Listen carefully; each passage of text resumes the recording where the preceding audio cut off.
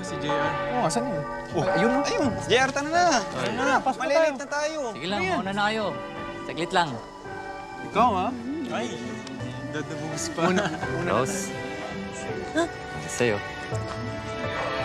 Pandesal tsaka hot choco. Salamat. Mainit pa yan. Salamat.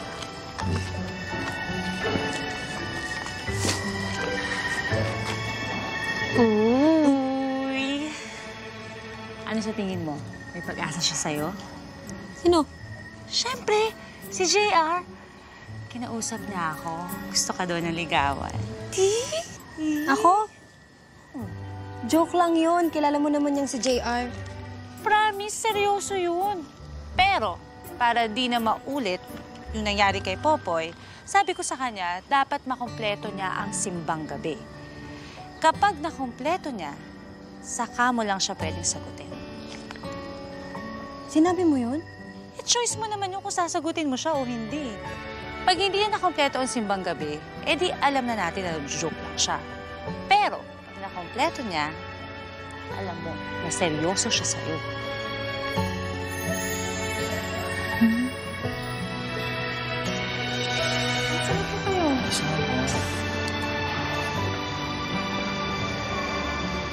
Ano na?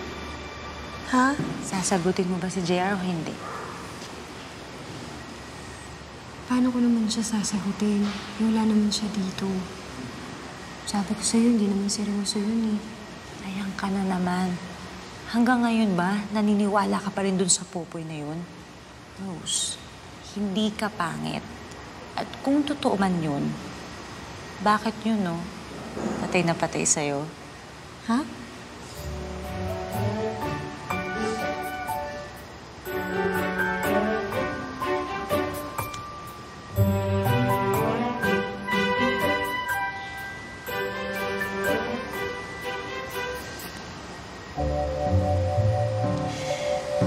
Tinatanong ako ni JR kung ano raw yung sagot mo.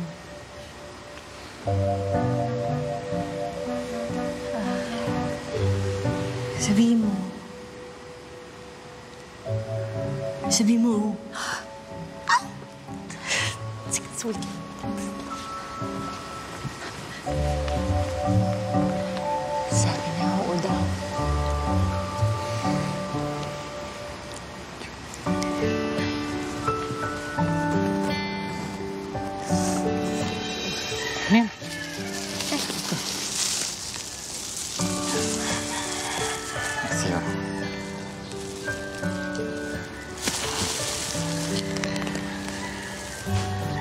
Ikaw ba yung laging inuutosan ng mama mo mamili? Madalas. Sa Friday ulit pagkatapos ng klase ko. Ah, sa Friday uli. Okay lang ba na antayin uli kita dito? Talaga?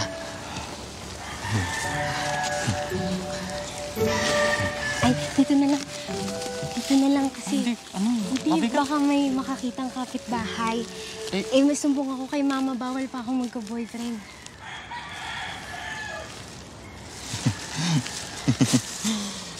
Bakit? Wala lang. Boyfriend. Boyfriend mo ako. Sarap lang pakinggan. Parang gusto kong pagsigawan eh. Ah, Ay, ay, wag!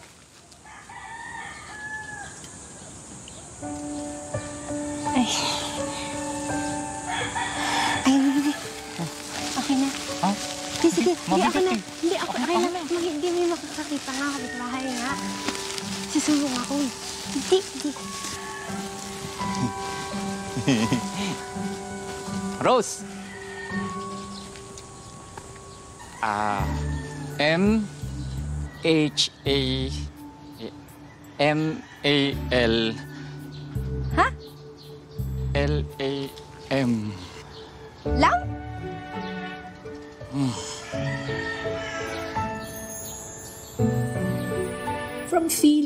pangit ko, si JR ang nagparamdam sa akin na hindi yun totoo. Na worth it akong tingnan at bigyan ng atensyon. Kaya kahit 30 minutes lang sa isang linggo kaming nag-uusap sa maliit na eskinitang yon, okay na sa amin. Yun nga lang, kahit gaano kami kaingat, kumalat pa rin ang balita. Ma'am, wala po akong masamang intensyon kay Rose. Papatunayan ko po sa inyo yun, ma'am.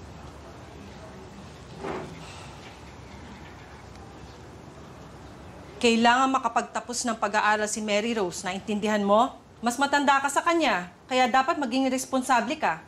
Alas 8 ng gabi, dapat nasa bahay ng anak ko. O, opo, ma'am. Mama, okay lang po sa inyo? Naintindihan ko naman yung first love, first love na yan. Napagdaanan ko na yan, no? Pag pinigilan ko kayo, baka magrebelde ka pa. Pero, kailangan tumupad ka sa lahat ng kondisyon ko, ha, JR? Yes, ma'am. Tutupad po ako. Uh, sure na sure po. Sigurado po. Hindi ko rin muna sasabihin sa papa mo. Ikaw nang bahala. Kung kailan ka handang magsabi sa kanya. Opo, Mama. Salamat po.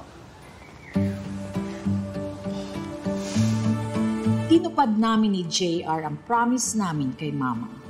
Tuloy-tuloy ang good grades ko hanggang sa maging graduating na ako ng high school.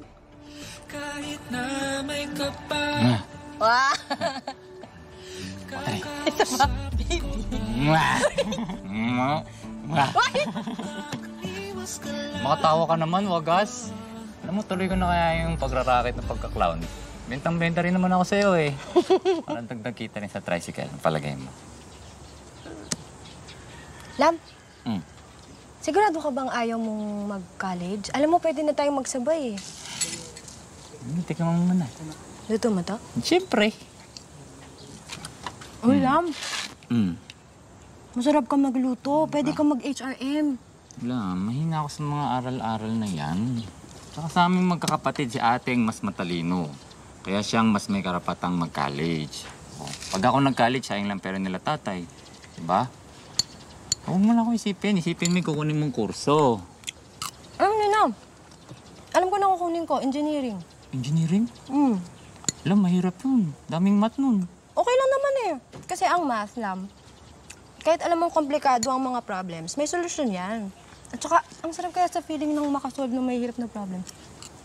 Ako lang, ayoko ng mga komplikado. Gusto ko yung simple lang. S-I-M-P-L-E. O mapatagalog o English, simple. Diba? Simpleng pagkain, magandang view. May katabi akong magandang babae. Ay, Ha? sumisimple ka ah. Sorry, sorry, sorry. Simple ah. May simple ka eh. Sa gitna ng kilig at saya, nangyari rin ang kinatatakutan namin. Ang bata-bata mo pa, may boyfriend ka na. Ano? Ayaw nang mag-aral? Gusto mo nang mag-asawa? Papa, mataas pa rin naman po yung grades ko kahit may boyfriend po ako eh. Mama, Oh, totoo naman yun pa. At saka, mabait at magalang naman niyang si JR. Saka pa, kinukonsinti mo ang anak natin. Nakapag-boyfriend na nga, tricycle driver pa. Papa, ano naman pong masama kung tricycle driver po si JR? Ay nako, matagal na akong barangay kapitan. Alam ko mga ugali ng mga tricycle driver na yan. Ha, mga sugarol yan, manginginom, at pasabulero. Sisirain lang kinabukasan mo niyan. Makinig ka sa akin, napakalawak ng mundo. Marami ka pang pagpipilian dyan. Papa, hindi, hindi naman po ganun si JR, Papa. At saka po, siya nga po yung rason kung bakit po ako nagpupursige sa pag-aaral po. Hindi. Sa Bicol ka na mag-aaral ng kolehiyo para mabantayan kita doon. Pa, ayoko! Ma, ayoko po! Kung ayaw mo, hiwalayan mo yung taong yan.